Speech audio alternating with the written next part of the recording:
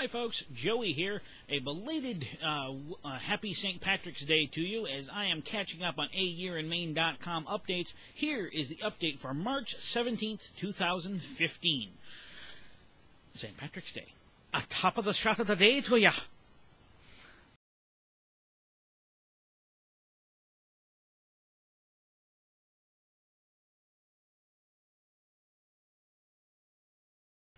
Well, I thought I'd tell you about this shot of the day. Only I'm not sure how long I can hold my Irish accent, so I better drop it.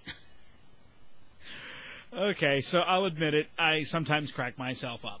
Anyway, so I would love to have had a dramatic uh, photo for you for St. Patrick's Day, but unfortunately, all of the St. Patrick's Day shots that I could get to were unfortunately crammed with parked cars and people.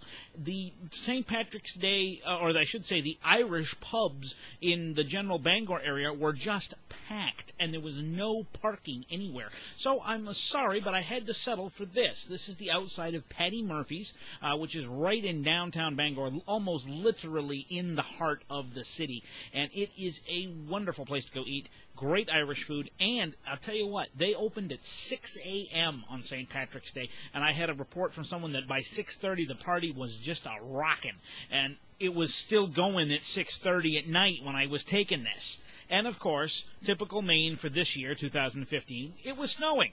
Hmm. Snow on St. Patrick's Day. What will they think of next? Anywho, that's our shot for the day, and we'll be uh, catching up here hopefully uh, this weekend, and I'll get uh, back to current. So in the meantime, have a great day, and we'll see you soon on A Year in Maine.